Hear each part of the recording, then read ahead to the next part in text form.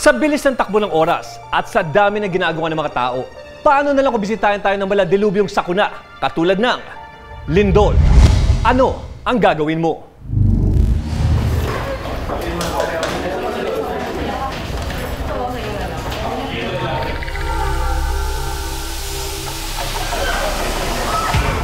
Sakaling yanigin na malakas na lindol at nakitira malapit sa dagat, maging alerto sa banta ng tsunami.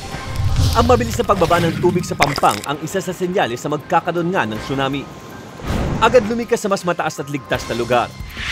Malaking bagay ang makasimpleng paghahanda para sigurado ang ating kaligtasan sa oras ng sakuna. Tandaan sa anumang insidente, tumawag agad sa aming hotline sa 9225155. Dahil mula aksidente sa kalsada hanggang sa bahay mo, aaksyonan, ora mismo.